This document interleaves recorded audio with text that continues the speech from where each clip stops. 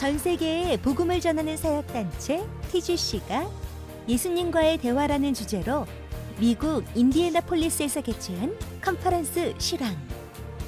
존 파이퍼 목사, 팀 켈러 목사, 리건 던컨 총장 등 이 시대의 복음 리더들이 복음주의적 사명을 감당하며 구원을 향해 가는 삶에 대한 강력한 메시지를 선포합니다.